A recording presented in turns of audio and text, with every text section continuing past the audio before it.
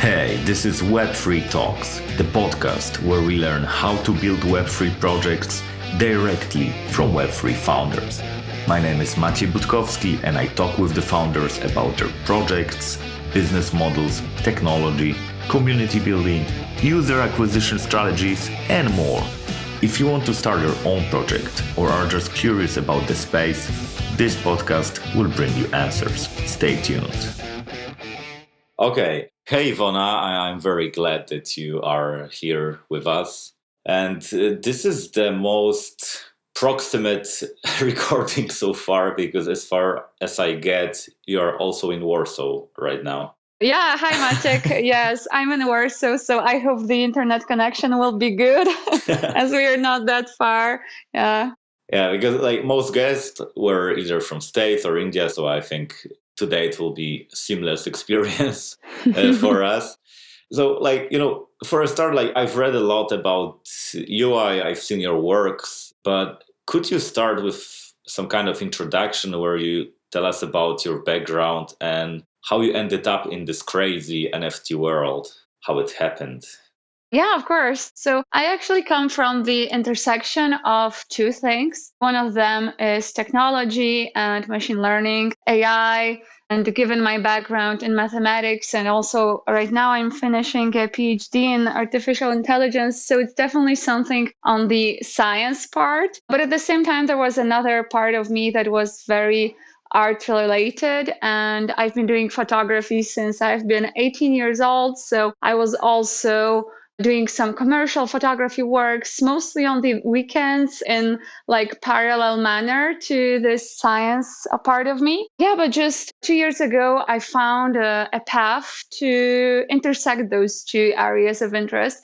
and this was where i i felt this aha moment of like finding the perfect niche of something that I could do that I could really, really love to do. So, yeah, the AI art has been this thing for me. And it never really started about NFTs. It was just doing some projects for myself, maybe sharing them for media festivals or for some museum showcases. And the NFT kind of happened by accident uh, mm-hmm. afterwards. I mean, I was actually on Clubhouse in March this year quite a lot. And I don't know if you've been there at that time, but there were suddenly popping up so many rooms related to NFTs. And I mean, everybody during the pandemic was probably just sitting at home and mm-hmm. talking with folks from around the world.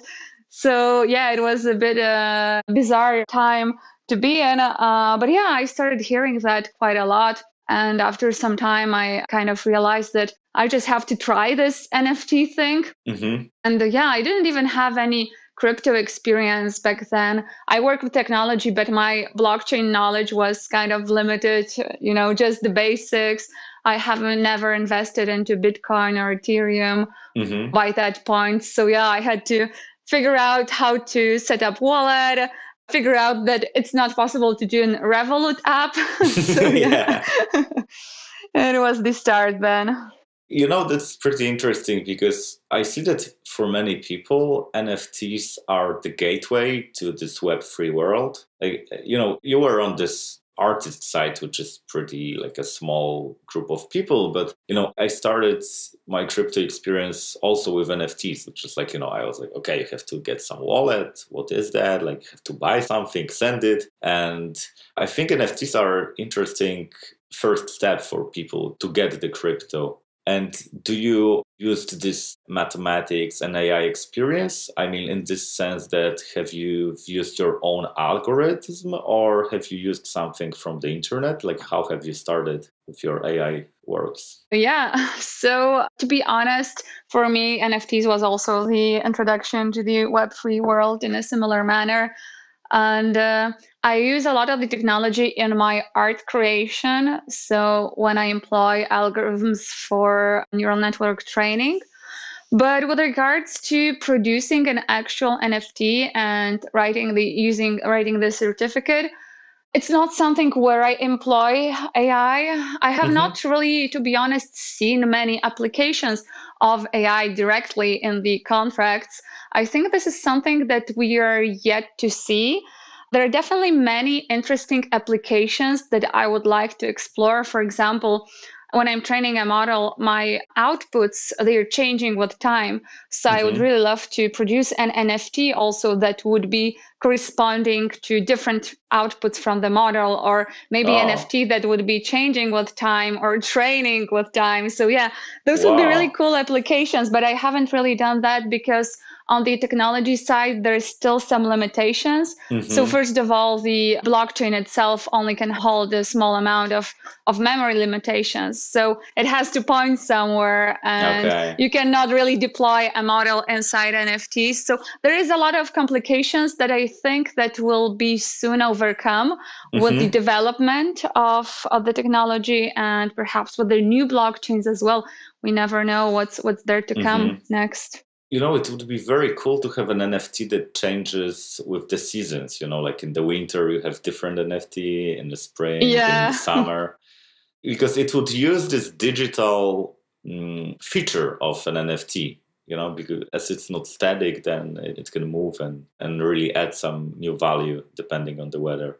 Okay and you know i've spoken with some nft artists and most of them told me that the biggest barrier for them is distribution they create an art and even if it's the best art in the world if they don't have enough eyeballs to look at them then there won't be enough bidders to bid for their nft so i would like to ask you how have you sold your first nft and how do you distribute or promote your works right now yeah, that's a very good question. And it's definitely one of the key challenges when, when starting in this space.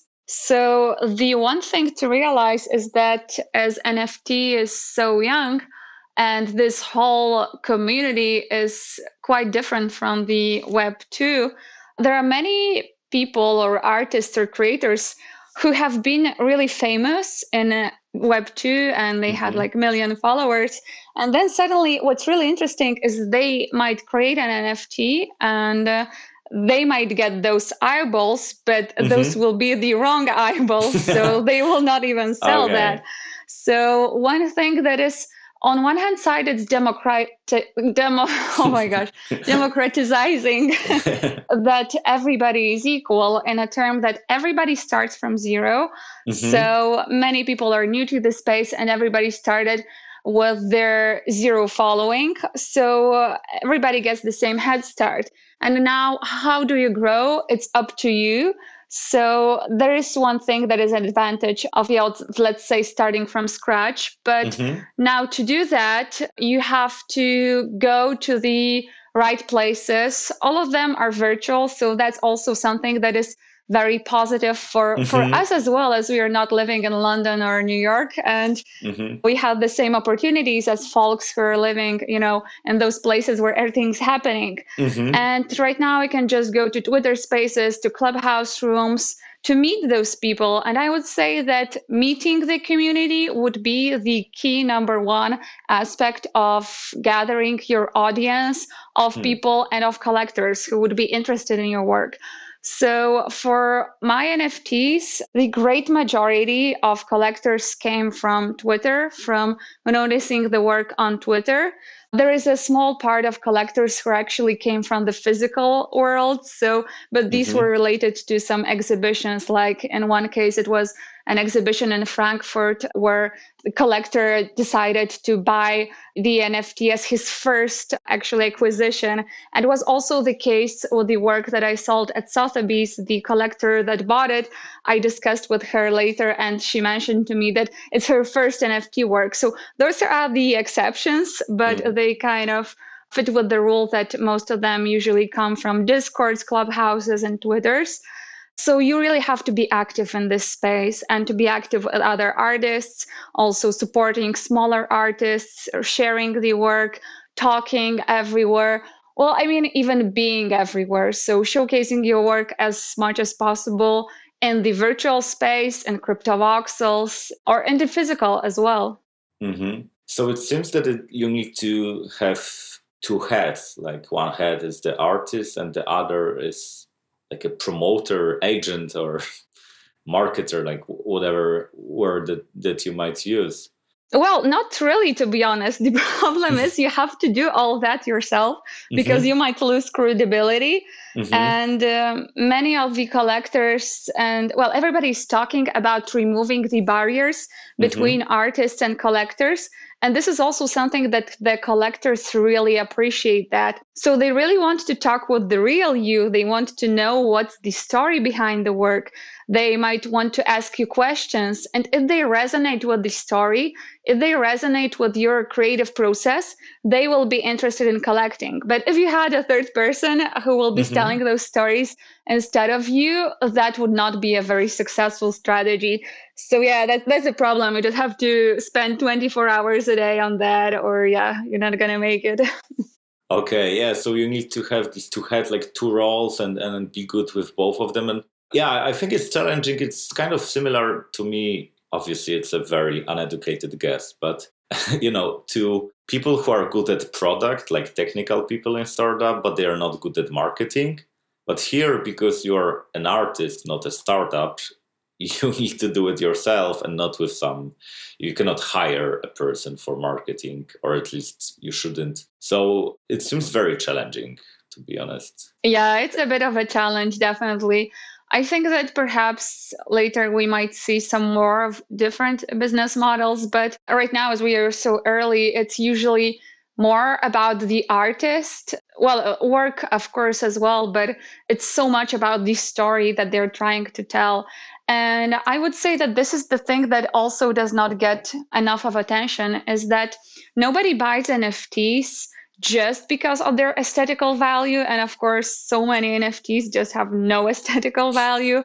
They're, well, they're collectibles, for example. So there is usually something else. And this might be some kind of utility. This might be some kind of story behind a new creative process, a new medium, something used in a different manner or just people wanting to support the artists. So this is also something that I hear quite a lot.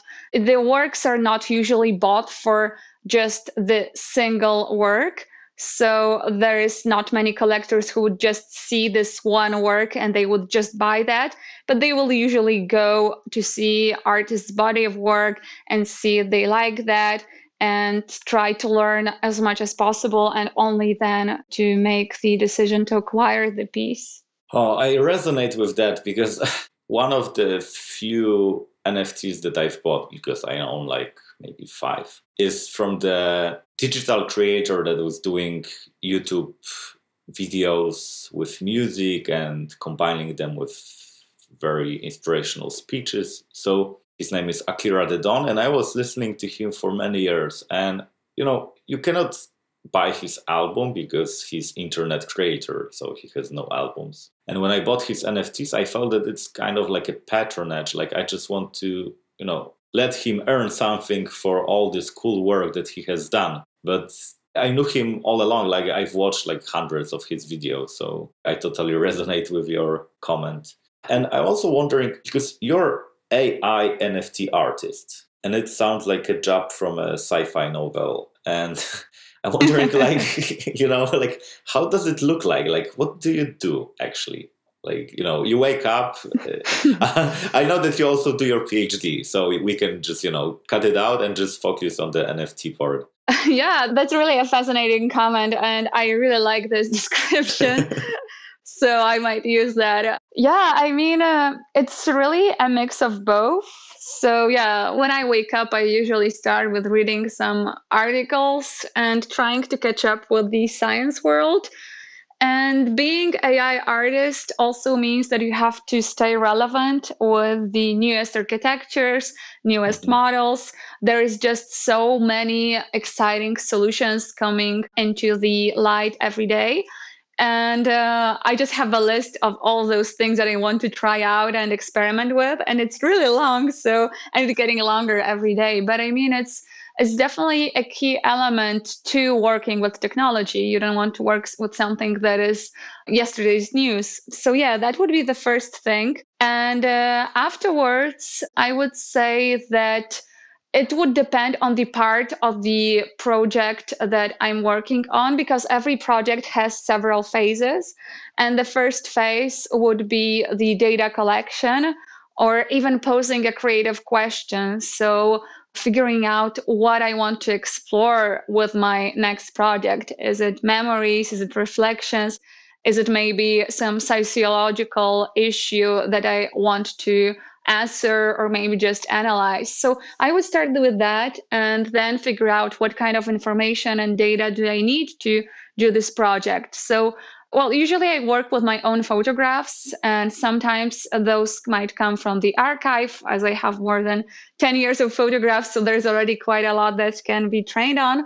But in many cases, I just decide to go on with something new. So I just go out and shoot exact pictures for the exact project. And yeah, this might take a while, like some weeks even, because I don't want to force myself when I'm just not feeling like it. So one day I might do 10 photographs and a different one it might be 100 so it really really depends. So yeah sometimes this is the part of the process that goes for a long time. When i have that figured out i will do the training. So that will be the coding part the pre-processing of the photographs as well and then throwing them into the machine learning model and leaving that for days as well. It might also take quite a while so i will get back to the model. So every day i check the outputs that are currently generated with ai and they will change with the time there might be some issues so it, i might not like the direction where it's going or i might like it. So it really also be fascinating to see what's in there and this is, is one of the parts of the process that I like most is kind of checking in with the AI and seeing what it has learned so far. And at this point, I might even try exploring the model already and preparing some generative outputs and just, you know, playing around and, and seeing how it looks like. I might also figure out that there is something in the data that I don't really like. So maybe the images produce some colors that I don't really like or some artifacts, or maybe the data distribution is too limited. So then I might go back to step one and kind of remove some images from the training data or add some new ones or change them. So this process is really, really working in a way that it's a lot of coming back to previous steps, reiterating, figuring out something new and uh, just trying out quite a lot. And then when I'm happy with some of the results, of course, I might decide to publish that. If the whole project is kind of on a closed theme, I might wait to till I produce all the works and only then publish them. But it's also very often that I come back to the themes that I have previously explored as the most fascinating thing with AI models is that they produce almost literally the infinite number of generative imagery. So some of them might look similar, but there is usually something unexplored. So I might come back after two months to a previously used model and then suddenly realize, oh, wow, there is this super cool visual that I haven't seen. Let's explore this direction. And then I would produce some animations or more things and kind of create some new work or maybe even take two like take an old model and take a new model and mix them together on different layers of the architecture and also see how it looks like. So yeah it's it's a lot of experimentation and playing so no two days are alike to be honest Wow, it sounds like a very complex process to produce an art. And, uh, you know, like on one hand, when you produce art, very often you discover something that you haven't known before because, you know, you feel you are in the flow and you kind of push the envelope. But here, on one hand, you discover things that you produce, but you also discover things that your model has produced. Yeah, exactly. Sounds very interesting. And how do you get these inspirations? Because you said that if you don't feel like you are, you know, you don't feel inspired, you may not produce a lot of art. And I, I know that for many artists, inspiration is important. And, you know, to find it, they may read, they may travel, they may party, do drugs, listen to the music. like there are countless options. And I'm wondering what's your thing for looking for an inspiration? Yeah, definitely. So I would say inspiration usually comes unexpected. This is why I have this also analog notebook of keeping mm-hmm. ideas handy and uh, just anything that comes into mind. And it is sometimes ideas for the projects or might even be ideas for descriptions or even just like a cool combination of words, cool combination of colors, of textures that I might want to explore. But to get that, the main point for me would be educating myself and learning from other artists. And uh, as I ha- don't have any formal background in arts, I only finished photography studies. So, well, I, I studied some photographers, but and of course I studied some art, but not in a formal way. So this is why I'm really excited still about learning about all those masters.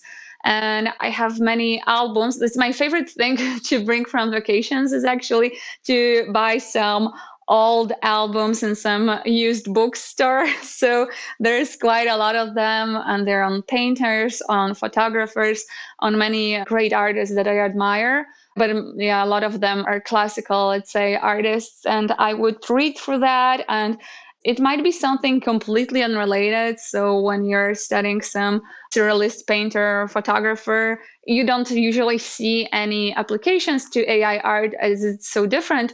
But the mind usually works in a way that when you you just don't know how it will work. It just might produce some idea suddenly unexpectedly. And this is usually what happens. So i don't try to kind of force this inspiration by you know looking at images and thinking oh i should train a model on that but kind of you know letting it uh, do its own work by just studying looking and exploring. One huge part of the inspiration would be all those classical masters and and of course also i get inspired quite a lot by more contemporary artists. So yeah i read uh, many magazines related to photography and to art and yeah just looking at inspiring incredible works sometimes gives you inspiration at a later time. Okay. You know you said about inspiration and about the model. So this is the thing that bugs me and i haven't asked about it before is how do you train your model? Like do you just put your pictures in the model or you just put some different pictures on the model or it works totally different and i'm just you know doing very uneducated comments right now yeah, no worries. That's a very relevant question. So, I usually put my own photography collections into that. This is why quite often I will produce the inputs specifically for model. Also, I have done quite a lot of collaborations this year. So, in this case, I would take some of my, let's say, photographs and also work with an, another visual artist who, for example, produces photographs or collages, and we will prepare a common data data set to explore something together. So those will be the most common ones. For some of the projects, like there is one project that is not even NFT, but I tried playing with old photographs from the museum and I produced those people faces that were showing particular emotions. It was a very interesting topic for me to explore how artificially created humans from the past can show realistic emotions. It gives you this uncanny feeling so yeah, there is of course this issue, of course, of what kind of data can you use. So I prefer to stay on the safe side and use my own data. And there is a lot of discussion in AI art for artists using GANs about whether you could use images that are on the internet. Can you use something like pictures of paintings? Because this is definitely something that is not really defined as the outputs from the model they're completely generative. So if you train a model on 1000 of monet's paintings it would produce something that would be of course stylistically similar. But the problem is that not a single pixel would be the same. So the issue of licensing and mm-hmm. kind of the commercial use starts to get quite difficult because you cannot really prove and yeah how can you prove? Maybe it well if it looks very similar it might be obvious but if it's a bit less similar it's even mm-hmm. more difficult to tell that it was created by using this kind of imagery. And yeah that's this is a very difficult thing to be able to say afterwards because when you have a trained model it has no memory of the data so mm-hmm. it's just not theoretically possible to say what it was trained on. The model would be just a bunch of numbers that produce something. And the only way to say it's like by visually checking or mm-hmm. maybe finding the closest match in the model to the real image. But those usually will be different because model does not memorize anything. So mm-hmm. yeah, there's a lot of ethical and legal issues that might arise when you start training on the images that are not yours. Yeah, but nonetheless, it's something that yeah, I, I think that will have to be figured out in the future. Mm-hmm. So, can we say that you are going to be immortalized? I mean, like, if you die and there are these models and your data set, you can still produce art even though you won't be here anymore.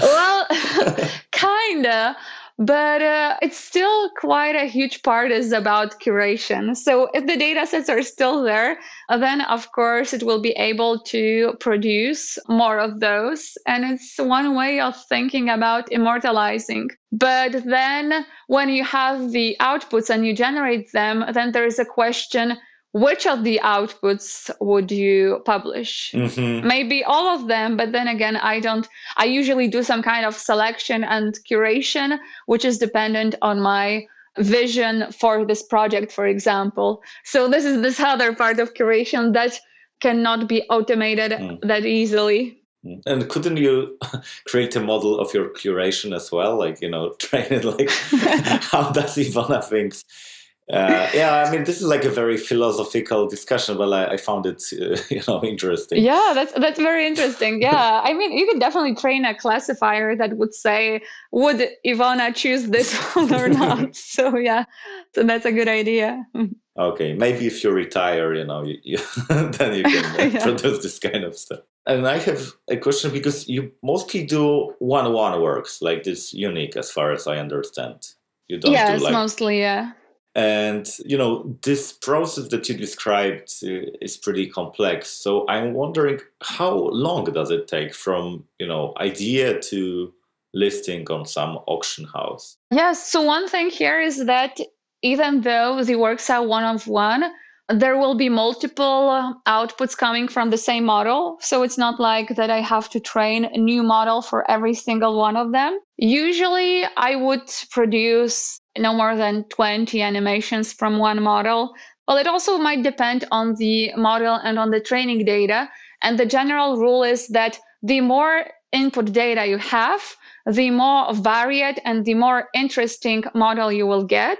So if you train only on 100 images, it might be interesting, but after some time, the outputs might get repeated. And if you train on tens of thousands, you might get such a fascinating model that you can work with that for, for a long time and have works that are not even similar to each other.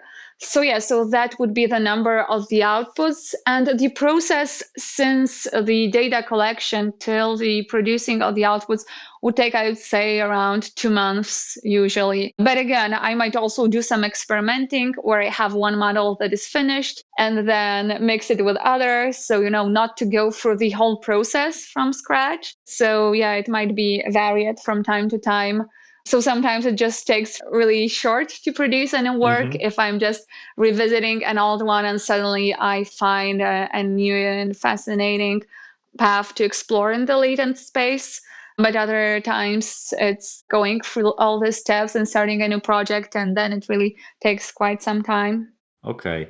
I have one question that I got from the people that like I got one DM with a question like how your works ended up in Sotheby's? Because you know it seems like very you know prestigious place to end up mm-hmm. but also not that common for NFTs maybe lately it's more common but still it's not that obvious place to end up. Yeah. Yeah that definitely has been one of my main achievements in this space and there was a funny story behind that two months before the Sotheby's, I actually mentioned to my husband that if I want to achieve something with these NFTs, and if I'm going to say that I made it, this is if I'm able to get to Sotheby's. And two months later, I was able to achieve that. And he just said, Well, you have to have bigger goals, Ivona, and bigger dreams because you just keep realizing them. Yeah, but it was actually a bit of a coincidence as well, I might say. And it is one of the things that went with my general rule that is, well, definitely a lot of amazing things happen at the right time and at the right moment. So the key thing to realize is that you have to figure out what for this time and place is perfect and find opportunities even if you don't even know about them yet. So that was essentially the case as I was joining a lot of Twitter spaces and connecting to all of those rooms and talking to people. And just one day there was a guy from Burning Man talking about their upcoming auction with Sotheby's, where they will be auctioning some works for sale. And also parts of the proceeds will go to support the festival. And. I was mm-hmm. really fascinated. And uh, well, he just mentioned that briefly and then, you know, started talking different things. But I was really fascinated with the project. And I couldn't even DM him. So I left a comment under one of his posts that, wow, I would love to hear more about the Burning Man and Sotheby's. And yeah, five minutes later, he actually DM'd me and he mentioned that, wow, he just saw my work on Twitter and wow, it's really amazing that it would be so great to add my work to the auction. I was like, what?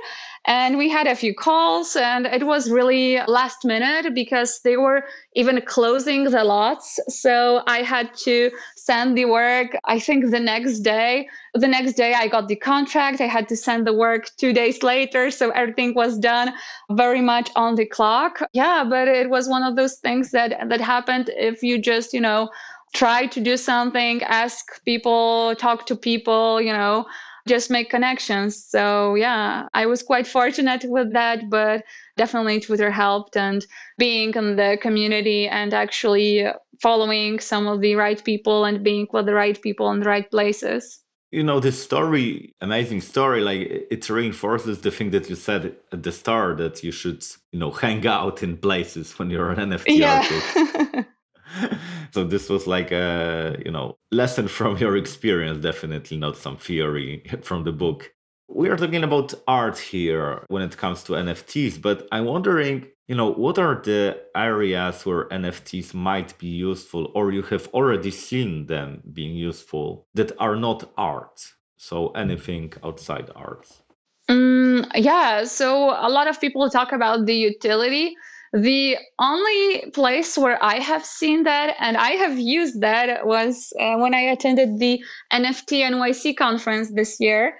What was interesting, a lot of the events had NFTs as tickets. So there have been some events where you had to have an NFT or a collectible to be able to get in, but also some of the NFTs were just plain tickets. And this was the case with the Dreamverse gallery where I had my work exhibited and I had to show an NFT in the wallet with the ticket. And this NFT had the single purpose of being a ticket. And right now it's just a collectible ticket of an event that has happened but it's also pretty cool that you can uh, keep that in your wallet to remember uh, that you attended this thing so yeah i think that's a very cool application and perhaps we might see that more of in the future because it just seems so natural to apply Mm-hmm. Yeah, I totally get it because you know when I was so younger, I was collecting these uh, normal like physical tickets from concerts, events, but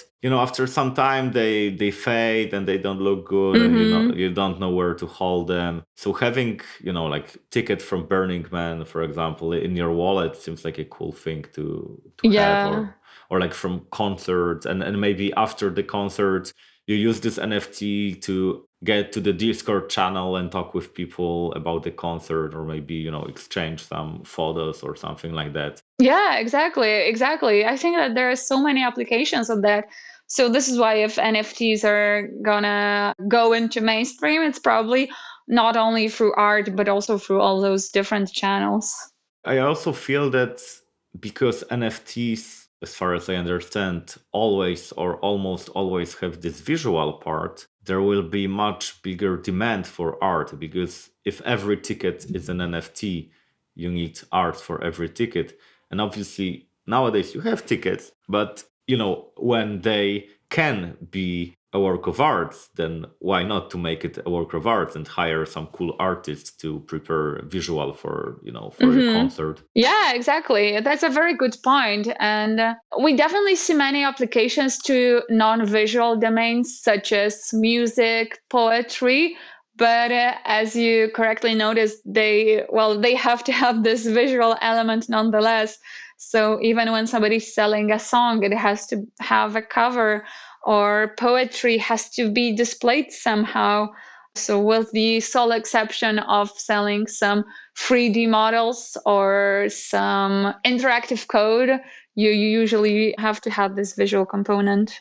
Mm. And Ivona, you know this NFT artist world pretty well, as far as I understood. So I'm wondering, what are the biggest challenges that NFT artists face? Well, one of those is the one that we've discussed. So, getting your art seen by the right people, by the right collectors. And also, as the space grows, there is more and more people is going to get even more difficult to be discovered. So that's one thing. But also another one is everybody's talking about being equal, removing the gatekeepers. But nonetheless, we are seeing quite a lot of bias in this space. As we are rebuilding the community from scratch, we have those chances to build it in the right way and to have an inclusive community that is very diverse with regards to nationalities, to races, etc. But uh, the bad thing is that it's not really happening at the large scale. And even the male female ratio is such that I don't know the exact number, but I think that only like 5 or 15% of the NFT creators that are successful are women. So while I'm very happy to be among them, I'm still very unhappy that there's just so little of that. And there is still this white bro culture. And I don't really like that. And I hope it, it's going to change. But of course, it is influenced by the key factor that even though a lot of people are coming from the traditional world, from something that was not really related to crypto, there is still a lot of people who just you know came from having a lot of bitcoin in the times and mm-hmm. they're usually a very specific demographic and they are still the key players usually so people who bought bitcoin early right now they are the whales so they decide mm-hmm. what gets value and what does not and that is also one of the big problems and i hope as more and more institutions and companies come into play.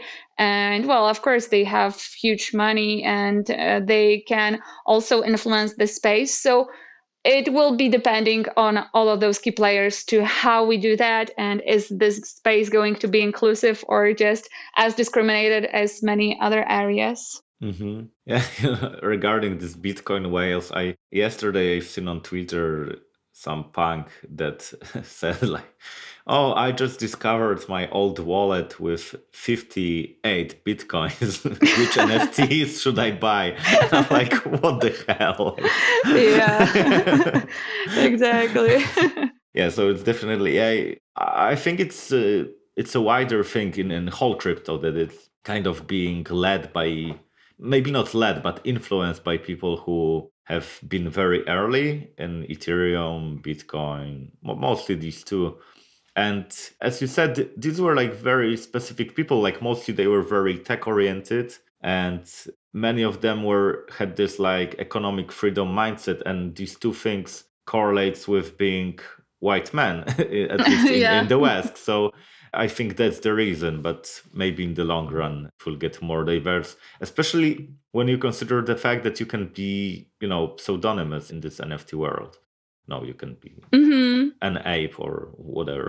yeah, exactly. Well, I really do hope that, well, maybe even other blockchains like proof of stake ones, for example, Tezos might help with that because the other problem is that with the Ethereum gas fees, it's mm. not really that huge part of world that can afford mm-hmm. 100 200 dollars so even if we're not just seeing white uh, men we are seeing people from the first world and that's also the problem because the rich get richer and um, hopefully with the emergence of Tezos blockchains and other blockchains that are almost free to use it gets easier for people from third world countries to demand and mm. to actually sell their work. And yeah, I'm really hopeful that this will grow as already there are some artists who would not been possible to sell the work. So yeah, that's that's another kind of setback there.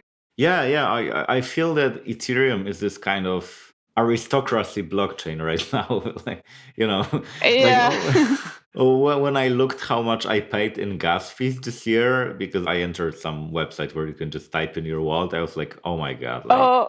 Oh god, I have to do uh, that, or maybe not. Yeah. you know, whenever I pay these gas fees, I feel like this, you know, Laszlo guy buying pizza for 10,000 Bitcoin. You know, like, mm-hmm. yeah. you feel that one day I'm going to regret that I spent so much, but on the other hand, there are interesting projects that you just want to try out, and, and that's yeah. how it works. And you know, what were the most mind-blowing projects in the NFT space that you've seen so far? Something that you felt like, wow, this is amazing. Mm, well, for me, probably I'm a bit biased. So those will be the ones that employ AI. And mm. with regards to AI, I'm really fascinated by the use case of Botto project mm-hmm. and uh, the way how they employ the community and decentralized decision process making into the creation of the world and into the creation element because as we discussed before with ai art there's still the decision making and deciding which work is good and which one is not so being able to translate this process into the hands of the community is something that i really admire. And for me it's such a great experiment. And of course it's doing quite well expectedly. So yeah that's definitely one mm. one of my favorite ones.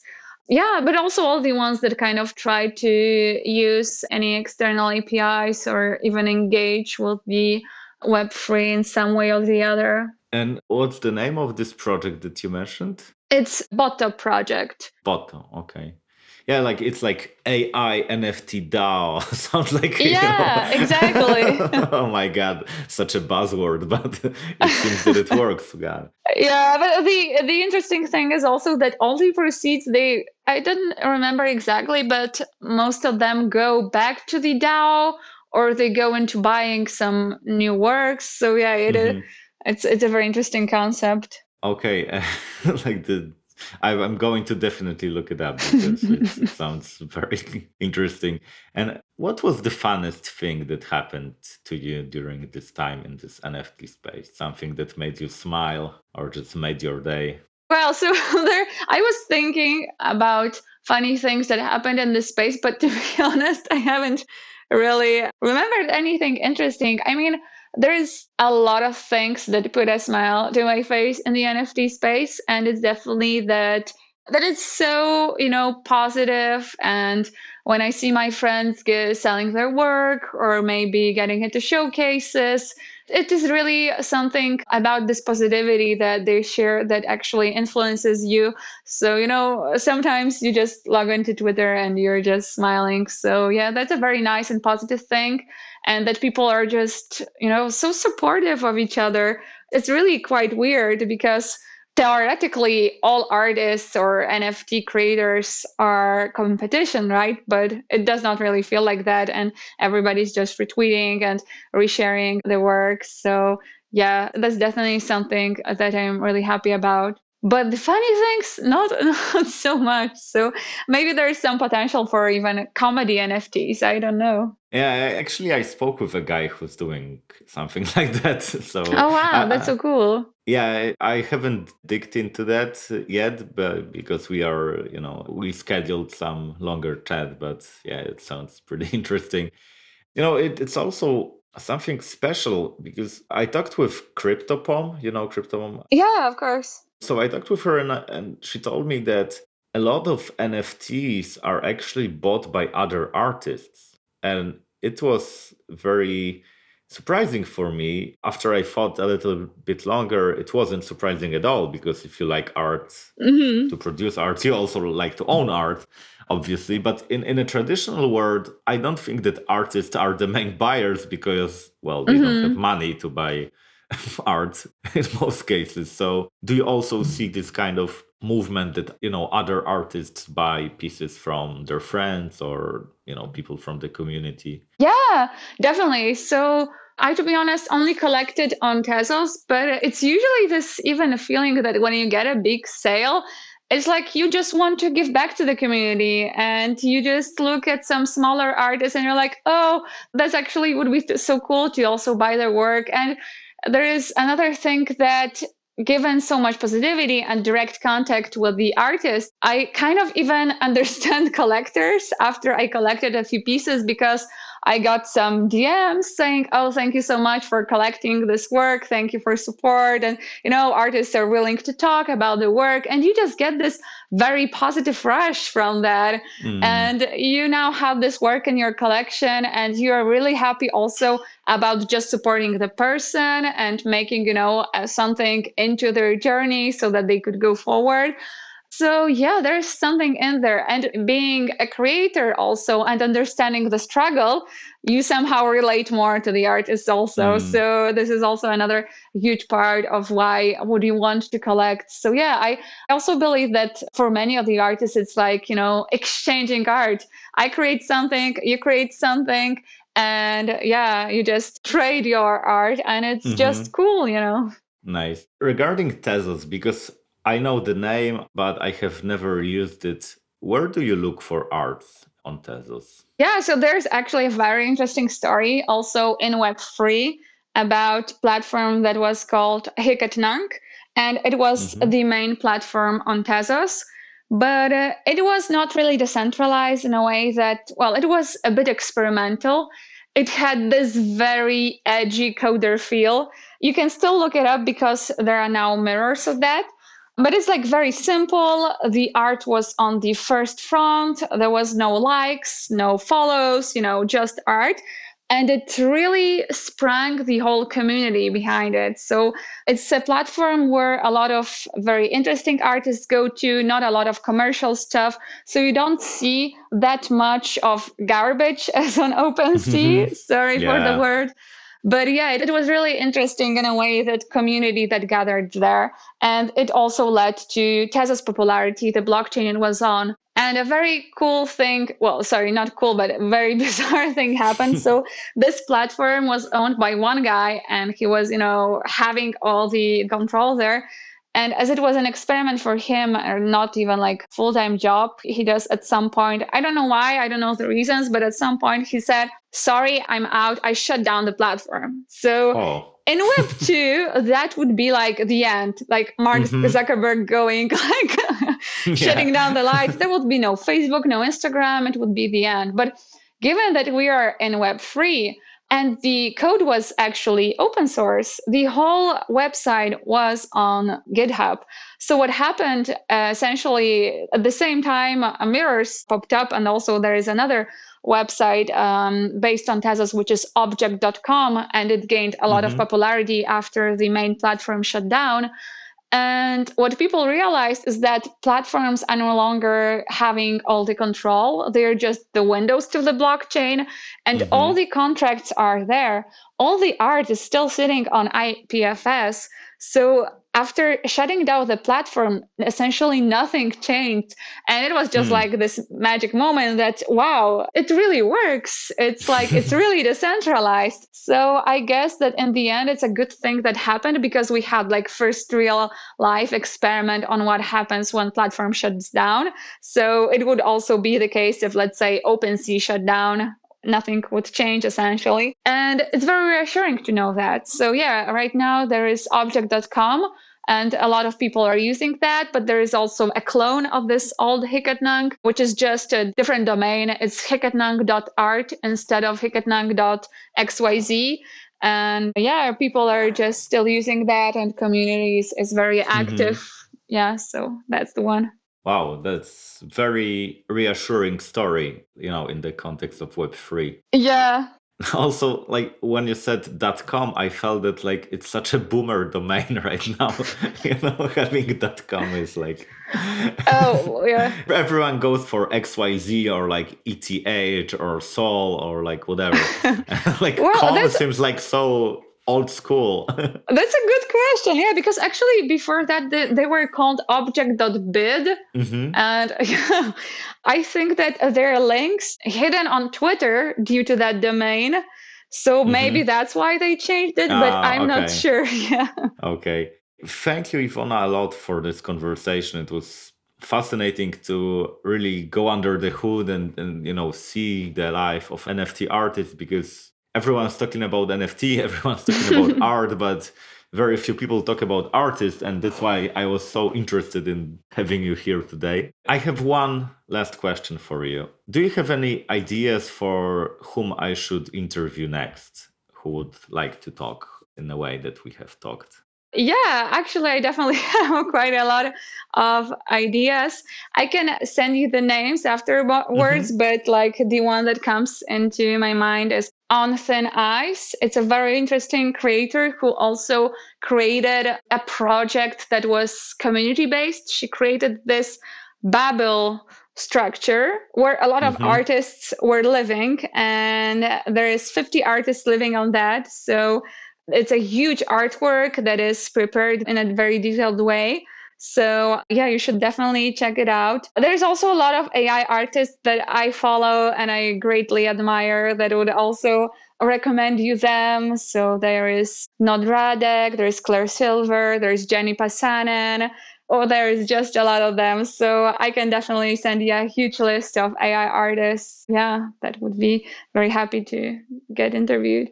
Okay. Thanks a lot, Dan. And it was very interesting to talk with you. I'm very happy that we had this conversation. Yeah, thank you so much for inviting me here. And yeah, also thank you for a very interesting conversation and the questions that were very uh, interesting to answer to. Okay, thanks a lot and have a good day, Ivona. Thank you. You too. Goodbye. Bye bye.